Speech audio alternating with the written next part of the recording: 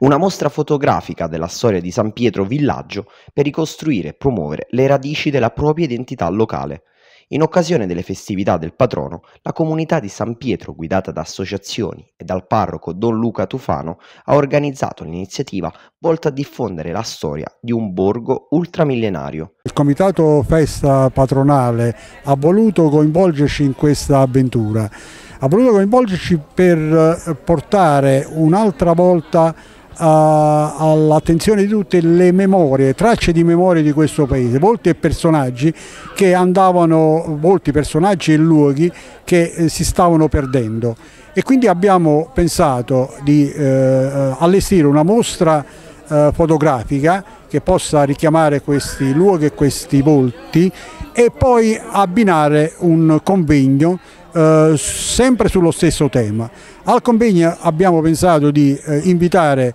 lo storico uh, ufficiale, diciamo, anche se ancora non uh, lo storico ufficiale della, uh, del paese, della comunità di San Pietro, il dottor Francesco Donnarumma e una uh, storica più giovane che però ha fatto un grossissimo lavoro sui libri parrocchiali perché dovete sapere che la parrocchia di San Pietro ha libri parrocchiali che uh, risalgono al XVI secolo e che sono uh, praticamente l'anagrafe sia di vita che di morte di tutto il villaggio. Questa è la dimostrazione che questo pezzo di Scafati eh, aveva una, ha una storia eh, molto antica, una storia millenaria che merita di essere ricordato e merita di essere ricordato soprattutto adesso quando il paese ha perso parte della sua identità. Lo sviluppo del territorio attraversato da re e santi sono stati alcuni aspetti sottolineati dai relatori del successivo convegno, che ha visto in prima fila gli storici Francesco Donnarumma e Anna Barone,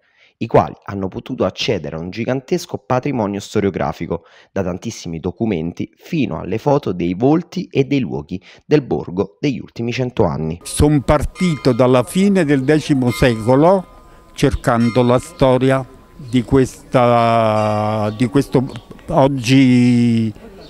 villaggio, diciamo, che dal 1200, eh, 1200 e rotti anni era un'università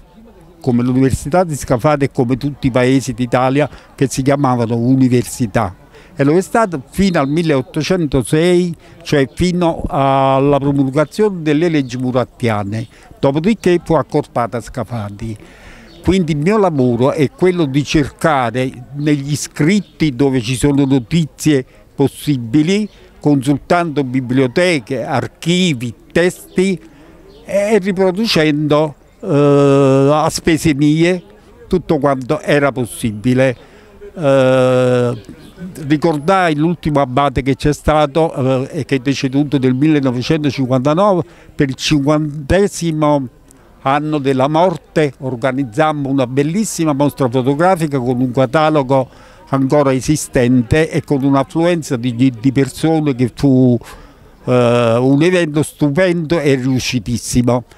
Spero che questa sera si ripeta uh, la stessa cosa, provando noi organizzatori le stesse emozioni.